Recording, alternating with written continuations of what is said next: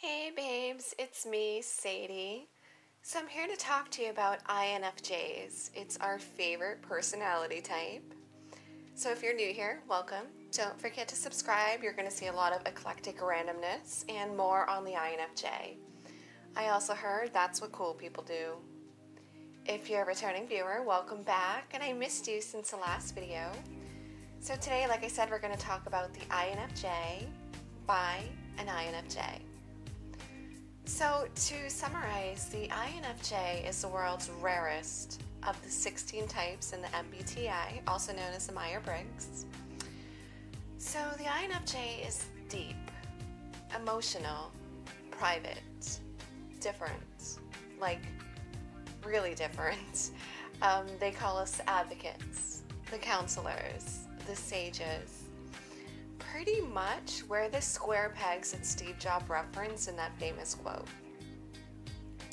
Uh, so, for context, better known INFJs include Martin Luther King Jr. and Jane Goodall. They happen to be personal heroes of mine long before I knew that we even like share this personality type.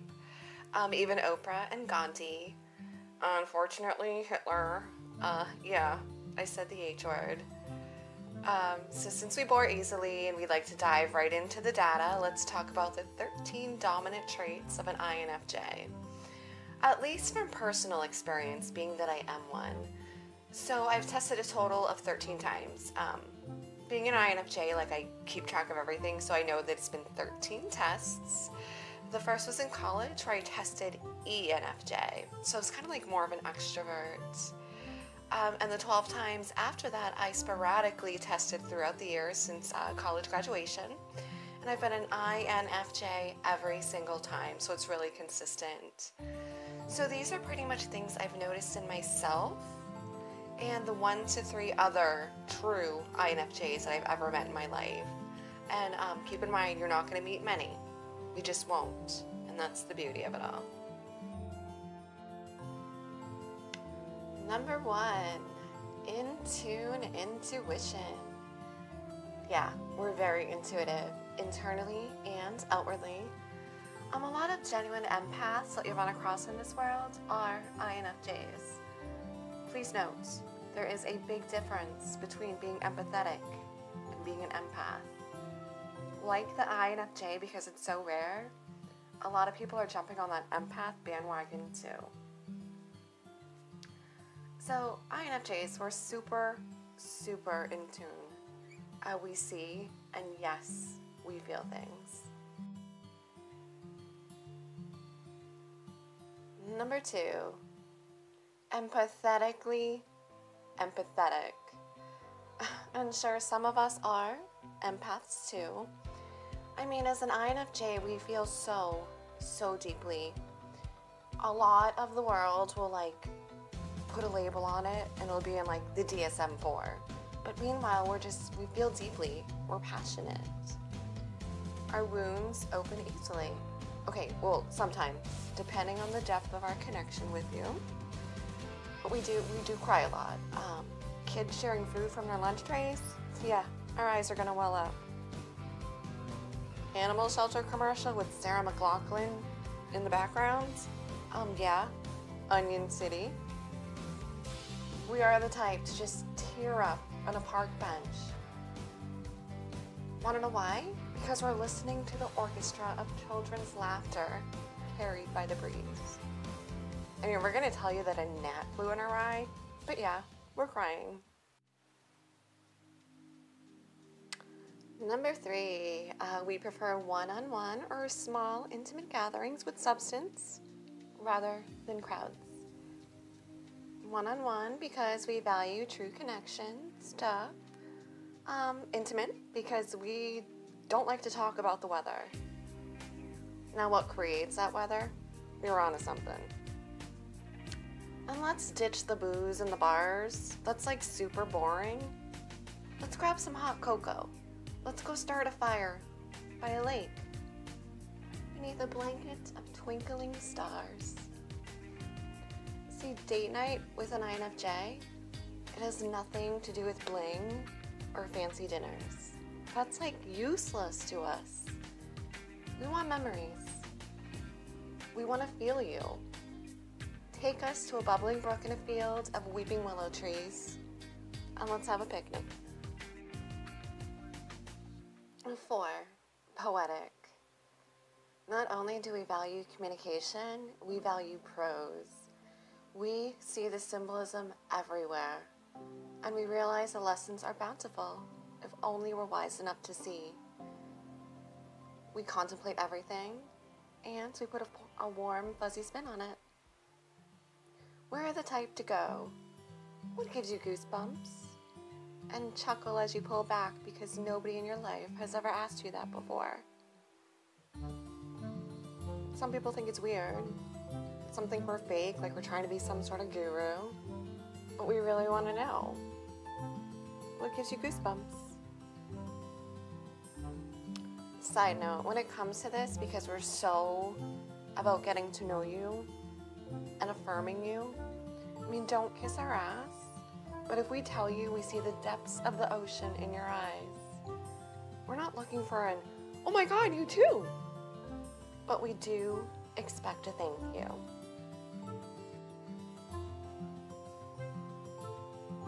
But, okay, we're not like some cute pink fuzzy bunny. We're not the energizer we need to recharge. It's not personal. It's not you. It's us. If there's an issue, the mature INFJ will tell you bluntly. If we love you, we'll even, you know, sugarcoat it a little bit so it doesn't wreck your night. We're introverts for a reason. Um, see, we're not necessarily huge fans of the whole human thing. Um, the vibration, it kind of weighs a lot. Let's just say it's not part of our sage-ish mojo nutrition plan. Six, we are the whisperer. No, not the animal whisperer, or the nature whisperer, or the children whisperer. We're like all of it. We are the whisperer. We'll be sitting on a bench, earbuds jammed in our ears, dark sunglasses clinging to our faces, book jammed up our nostrils. And you'll still sit down beside us and spill the synopsis of your life. Not like the cool elevator pitch or the back cover copy synopsis of your life, like the long version and we're not dicks. So we'll probably just listen. Underneath those dark shades, we're like, what the fuck? Rolling our eyes. Um, because we're thinking this book, shit was just getting good. You know, we're lost in the universe between the covers. We just bought the thing at Barnes & Noble and we know we're gonna kill it in two days flat. But here you are, you know? You know, like we'll be walking along the pond and the dragonflies will just be like chasing us and chilling with us by the lily pads. Like, shit is unreal sometimes. You know, you don't want to go backpacking through the wilderness with an INFJ. You're not going to catch any sleep. Because one day, someday, they're going to be the whisperer. And then I'll have one question for you. Did you pack the bear spray? seven. Supersonic mode. I just don't know another way to put it. Our brains are like rapid fire, like pew pew pew, like it's always going. So people do view the INFJ as an intellectual, but we're not geniuses. You know, we're not in Mensa. Um, we're clever.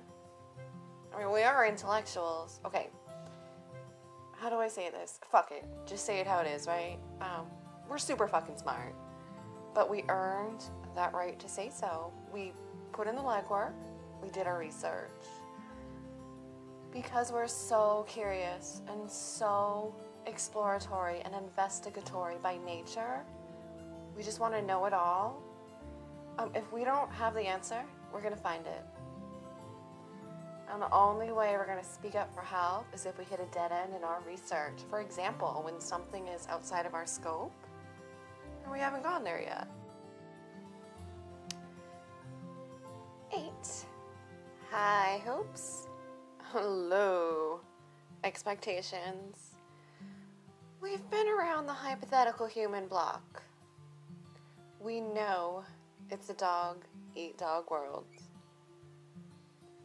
The mature INFJ has checked herself. She's owned her shit. She's left her ego at the door. She's evolved. See, if you're good to an INFJ, we feel so grateful that we go overboard and quadruple it. And then we're kind of left hanging with your one. Hence, our low expectations. You know, if we love you, at least acknowledge that love, even if it's not reciprocated.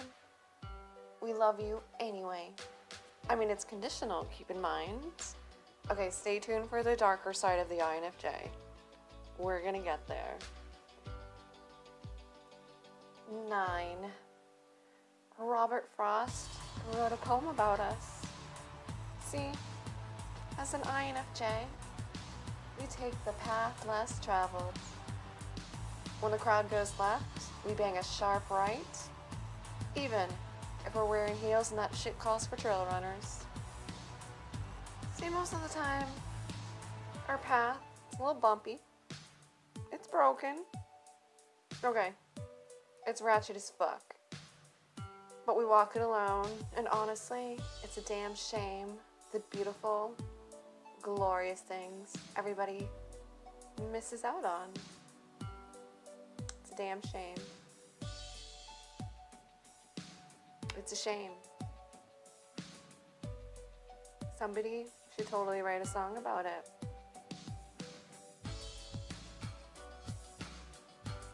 Ten.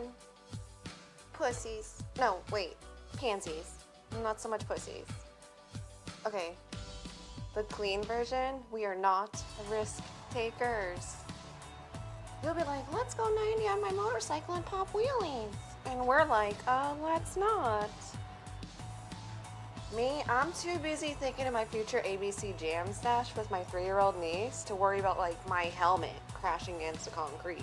Um, shit, y'all, a paper cut hurts. When I gave birth without medication, that was like self-harm. I'm good with adrenaline overloads. 11. We're the shiny gems at any job, and it pisses people off. Even at the blah jobs, we're like the ones pushing that broom better, mopping that shit even shinier. You know, we're over here pushing the buttons on the cash register the fastest with the most accuracy. Our receipts are the cleanest. Our tills are the tidiest. We're dotting all the I's. All those pesky T's, yeah, you're welcome. We're crossing them. Meanwhile, you're getting all the credit for it. We're INFJs. The Sages, remember? Um, the Peacekeepers, so we'll let you. And you'll accept the credit because, well, you're not an INFJ, and how about it? So, well, we yawn easily. No, it's not because we're tired. It's because we're sick and tired of your bland bullshit. If you want to woo an INFJ or be tight with one, because trust, you want us in your corner. Because we're fucking idiots. We like defend our own enemies. Wanna know why? Because we see the bigger picture, even if that big picture makes us want to barf. But listen, be original. We're boo to overcrowded strangers with weird smells of onion bagels beneath our armpits. Beer breath, some asshole forgot their gum at home. Instead, we want to, you know, buy a tent at the Goodwill with our last five bucks and head north. Pitch tent in mountains, some spooky forest. Just camp out for shits and, and shits. And we'll giggle too because we like fun shit like that because we we know how to fucking party. 13. Too keen of observers. Do you secretly hate us? We feel it. Roll your eyes at us? yeah, we caught it. Lying your dick off. We know your secrets. You've probably heard of the INFJ stare. I call it a penetrative, all knowing gaze. People tell me my eyes look like they've seen a lot or hold a wisdom beyond my years. Employers have told me my eye contact was so good during the interview, it made them wonder like how on point they were.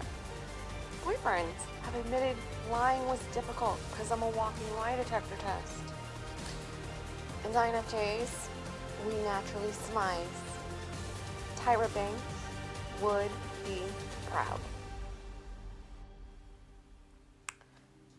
Alright, so there you have it, the 13 dominant traits out of many of the INFJ personality type.